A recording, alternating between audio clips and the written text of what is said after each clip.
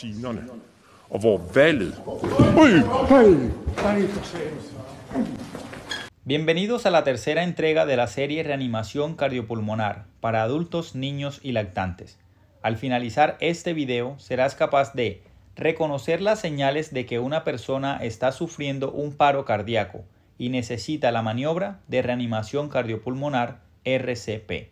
Si observas que una persona colapsa frente a ti, deberás comprobar rápidamente que no se trate de un paro cardíaco. Por lo tanto, lleva a cabo los siguientes pasos.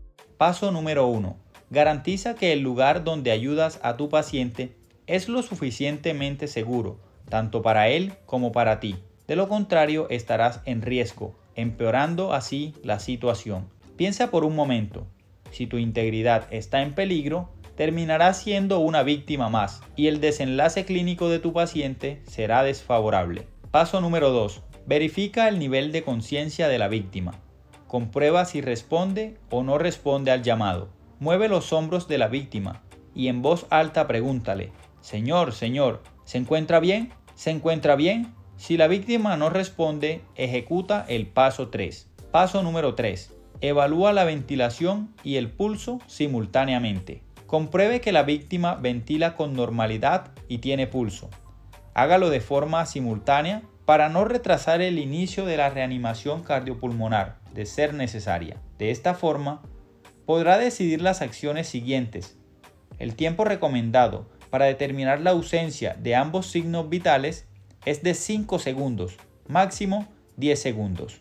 Observa si el tórax de la víctima se eleva y desciende. Por más de una década, comprobamos la ventilación mediante la maniobra de mirar, escuchar y sentir. La enseñanza actual indica que solo con mirar la elevación del pecho es suficiente. Adicionalmente debemos comprobar el pulso carotídeo para minimizar el inicio de la primera compresión torácica. Si observa que el pecho se eleva y desciende con normalidad, aunque el paciente no responda, te recomiendo que permanezcas a su lado mientras llega el apoyo médico. Si el paciente no responde al llamado, no ventila o solo jadea o boquea, prepárate para iniciar la reanimación cardiopulmonar de alta calidad. Jadear o boquear no se consideran ventilaciones normales, por el contrario, son un signo de paro cardíaco.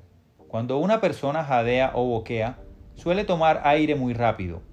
Puede que la boca esté abierta y que la mandíbula, la cabeza o el cuello se muevan conforme las ventilaciones agónicas. Los jadeos pueden parecer forzados o débiles. Pueden sonar como un resoplido, ronquido o gemido. Recuerda una vez más que el jadeo o boqueo no son ventilaciones normales, se consideran un signo importante de paro cardíaco. Comprobación del pulso carotidio en adultos. Con dos o tres dedos, localice la tráquea. Luego deslice los dedos hacia el lado donde se encuentra ubicado. Notarás un surco entre la tráquea y los músculos de la parte lateral del cuello. Ejerce presión sobre este sitio durante al menos 5 segundos, pero no más de 10 segundos. Si no detectas pulso durante este intervalo de tiempo, deberás iniciar de inmediato la reanimación cardiopulmonar comenzando por las compresiones torácicas. Para que una víctima sea candidata de la maniobra de reanimación cardíaca, debe cumplir con los tres criterios antes mencionados. Número 1. No debe responder al llamado, indicativo de que se encuentra inconsciente. Número 2. No ventila o no lo hace con normalidad, solo jadea o boquea. Número 3. No tiene pulso en el cuello, conocido como pulso carotidio.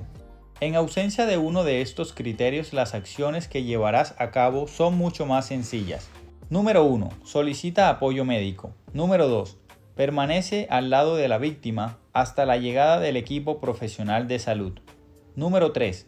Evita suministrar alimentos o sustancias por la boca del paciente, a menos de que éste se vea recuperado por completo.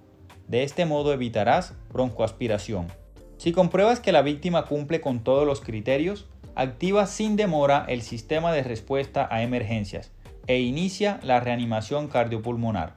Pero si no sabes cómo activar el sistema, a dónde llamar y qué decir, no te pierdas el próximo video donde aprenderás activar de forma correcta el sistema de respuesta a emergencias. Por lo pronto, dale al botón de me gusta, deja un comentario, comparte este video en todos los grupos y recuerda que Aprendamos de Atención Prohospitalaria es la plataforma que en temas de salud te pone al día.